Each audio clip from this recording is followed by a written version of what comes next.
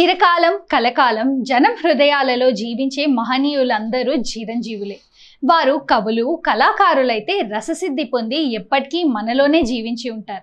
అదిగో ఆ కోవకు చెందిన వారే ఘంటసాల ఎస్పి బాలసుబ్రహ్మణ్యం. వెళ్ళిపోయి దాదాపు ఐదు శతాబ్దాలైంది. మనలో అయినను చూసిన వాళ్ళు చాలా తక్కువ మంది ఉన్నారు. కానీ వారిని మరువగలిగామా? మరువగలమా? ఎక్కడి నుంచో శుక్లాంబరధరం విష్ణుం అని ఆ అమృతగానం వినపడగానే ఒక్కసారిగా చైతన్యవంతులవుతాము. అబ్బా ఏమి గాత్రం అనుకుంటాము అలా మన మనసు పొరల్లోకి ఘంటసాల వచ్చి చేరుతారు. దానినే అమరత్వం సిద్ధించడం అంటారు. బాలు కూడా అటువంటి వారే.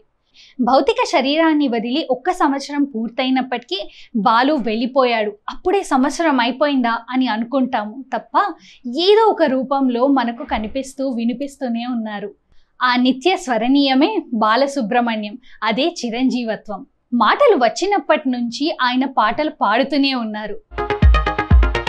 ఊహ తెలిసినప్పటి నుంచి నటిస్తూనే ఉన్నారు. బాలు గారు పుట్టుకతోనే కళాకారుడు. సహజ ప్రతిభావంతుడు సకల కళా వల్లభుడైన ఆ మూర్తిత్వం గానం విశ్వరూపమై విరాజిల్లింది.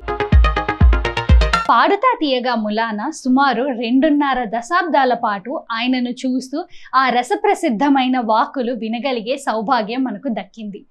ఎంత బాగా పాడుతారో అంత బాగా మాట్లాడతారని మనం అనుభవంలో ఆనందించాం.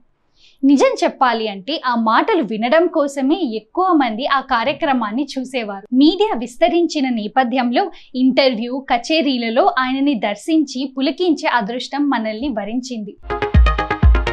వివిధ సాంస్కృతిక సంస్థలు నిర్వహించిన సభలకు అతిథిగానో సత్కర స్వీకర్తగానో వచ్చినప్పుడు ఆయనను చూడగలిగాం. వినగలిగాం పాడిన పాటలను ఆనందించగలిగాం. అడపా దడప కొన్ని సినిమాల్లోనూ నటించారు. ఆ పాత్రలన్నీ విలక్షణమైనవే. పవిత్ర బంధం మిథునం ఈ రెండు సినిమాలు చాలు ఆ నట విరాట్ స్వరూపాన్ని కొలవడానికి.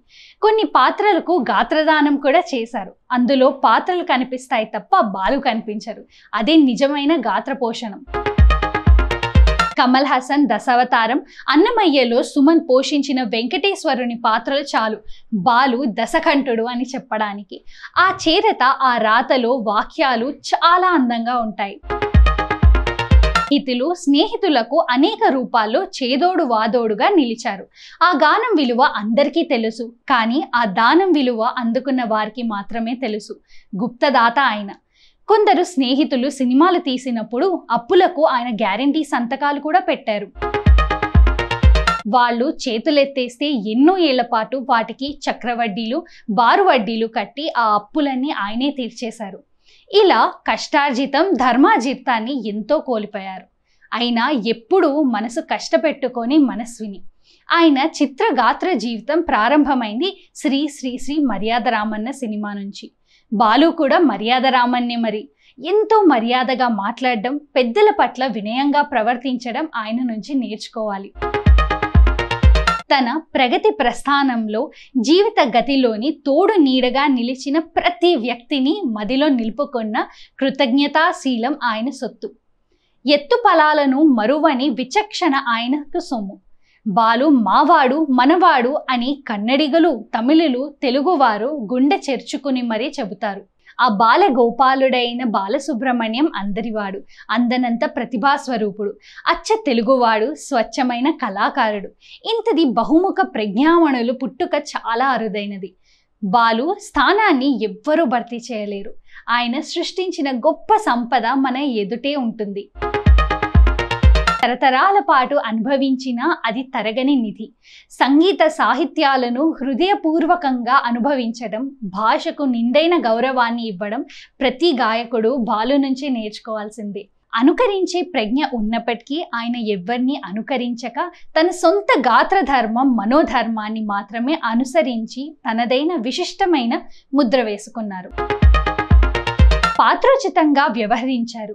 ఆ నటుడి గాత్రధర్మం హావభావాలకు తగ్గట్లే ఒదిగారు తప్ప మిమిక్రీ ఎప్పుడూ చేయలేదు. ప్లేబ్యాక్ అనే మాటకు నూరు శాతం న్యాయం చేశారు బాలసుబ్రహ్మణ్యం. బాలసుబ్రహ్మణ్యం నుంచి నేర్చుకోవాల్సిన ఎన్నో సుగుణాలు ఉన్నాయి. వినయం వివేకం సహనం సాధన మొదలైనవన్నీ మణిపూసలే. భౌతికంగా ఆయన మన మధ్య లేకపోయినా ఆ గానం వింటే చాలు. రసానందం జ్ఞానానందం సంపూర్ణంగా అందుతూనే ఉంటాయి మనకు. అందుకే బాలు ఎప్పటికీ చిరంజీవులే. మరి ఇదండి ఈనాటి స్వరతారల ఎపిసోడ్. మళ్ళీ మరో ఎపిసోడ్తో మళ్ళీ మేము ముందుంటాం. అంతవరకు సెలవు.